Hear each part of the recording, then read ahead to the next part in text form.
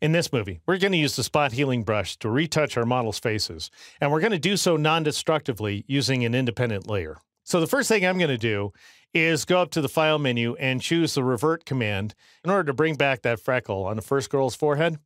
And then I'm going to click on the top layer in the stack here inside the Layers panel, and I'll create a new layer, either by going up to the Layers panel flyout menu and choosing the new layer command, or just by pressing Control Shift N or Command Shift N on the Mac.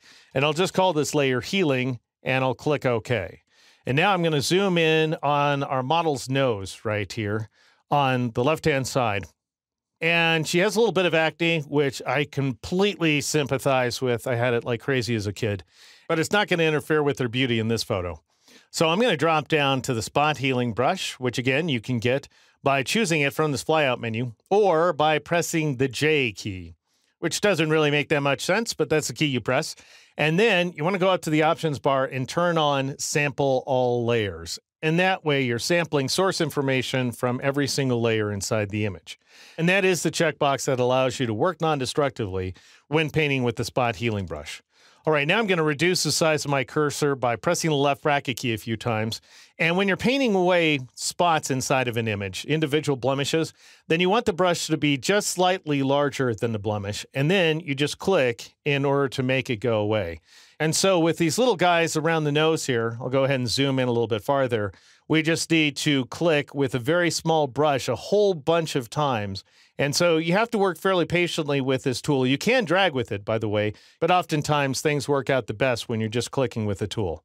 All right, so I'm just going to paint these guys away. And then about 20 or 30 clicks later, I end up with this effect here. So the nose cleans up pretty darn nicely, as you can see. And the truth of the matter is, we've all got something, whether we're young and we have skin blemishes or we're old and wrinkled like I am. There's plenty to clean up in any given portrait shot. All right, now let's say that I decide that I want to work on some of these freckles not because I consider them to be problems inside the image, but rather just because I want to be able to focus on the girl's features as opposed to her skin details, then I might just go ahead and paint over an area like so. So again, you don't have to just click, you can paint as well. All right, so I'll paint over that one and I'll paint next to here. Just avoid the hair as you're painting so that you don't bring in an extra detail inside that image. And now I'm gonna zoom out a little bit as well and I'll paint over here and here and just basically find anything that you want to paint over and go for it. It's really entirely up to you. The one thing I want to make sure of, however, as I'm working through this image is that I don't end up painting over something that really adds character to the subject of my photograph. So I wouldn't want to paint over a crease line like right here. That would be a gigantic no-no because it diminishes, as you can see here, it really diminishes her smile. So I'll go ahead and press Control Z or Command Z on the Mac to undo that. I also recommend that you don't paint over eye creases because they lend personality to your subject. So I'm just trying to take it easy where I can. And now let's say I decide I want to paint over this freckle right here. I'll just go ahead and make my cursor bigger by pressing the right bracket key a few times, and then I will click. Now, if you paint too close to the hair, what you're going to do is you're just going to smudge it like that. And that's obviously not something we want.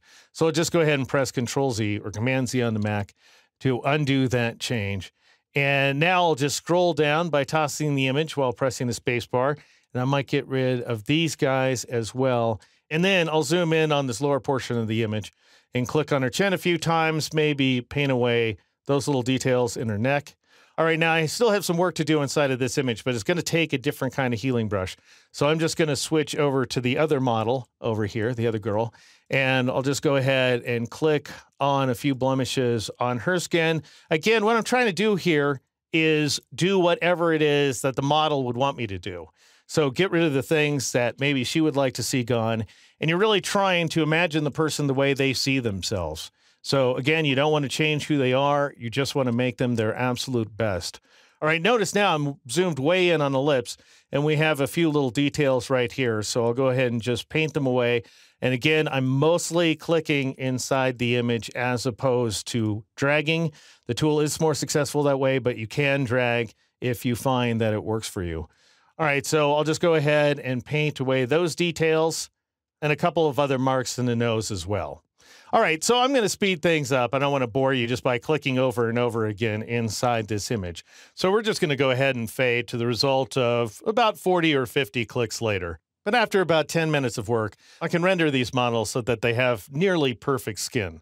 So just to give you a sense of what kind of difference this has made, I'll go up to the File menu and choose the Revert command. So this is the image as it appeared just a moment ago with a handful of the kinds of skin blemishes that life gives to all of us. And here's the image as it appears now, thanks to a little bit of patient and careful work with the spot healing brush.